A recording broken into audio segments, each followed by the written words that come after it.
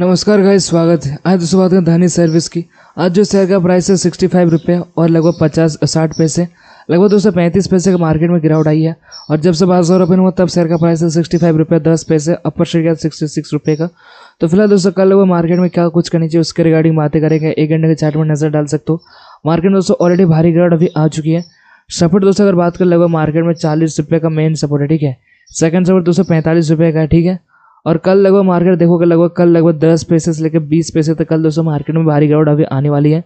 और दोस्तों दो महीने के अंदर जो टारगेट हम लोग का, दो महीने का जो टारगेट लगभग एक सौ साठ रुपये का टारगेट दो महीने के अंदर, जितनी ज़्यादा हो सके दोस्तों खरीदारी कर लो अच्छा मौका है। और पिछले दोस्तों एक हफ़्ते में देखोगे लगभग मार्केट छः पॉइंट बाईस परसेंट का नुकसान हुआ है।